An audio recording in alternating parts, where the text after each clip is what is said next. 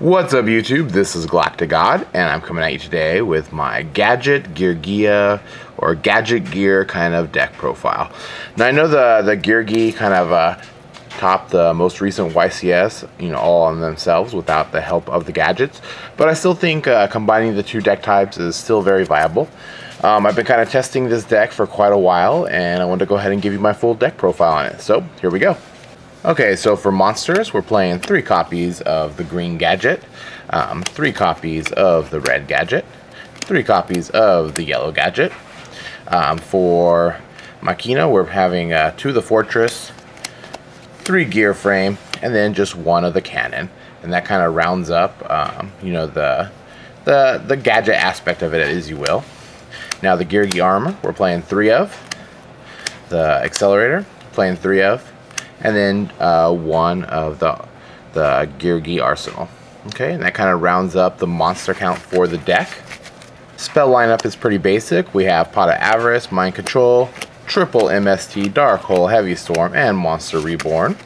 For traps, we've got our uh, double Solemn Warning, uh, double Torrential Tribute, double Mirror Force, double D Prison, a Bottomless, and then a Tekton Xyz Reborn. Um, I kind of like this card a lot because you do a lot of really fast exceeding in the deck itself, and I think it kind of helps. Um, my buddy uh, Brain Freeze Laser um, kind of turned me on to this card, especially in this kind of a deck. Uh, I think it works really good. Now for Exceeds, we have our three copies of Gear Gigant X.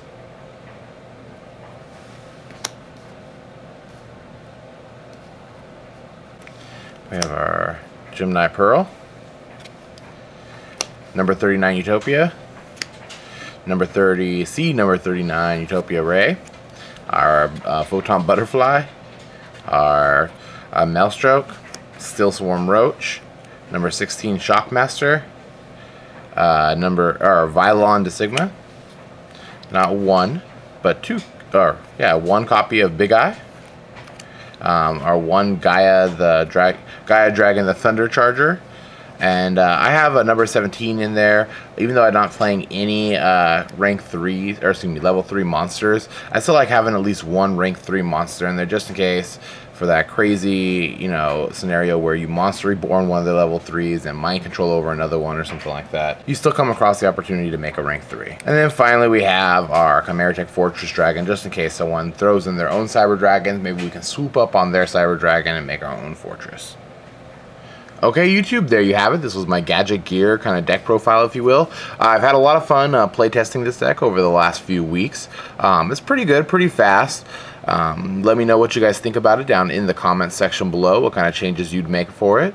Um, if you like combining the gadgets and the gears, or if you like playing just gadgets or just gears, or um, what you think works best. And I guess that's it for now. This is GalacticGod, out.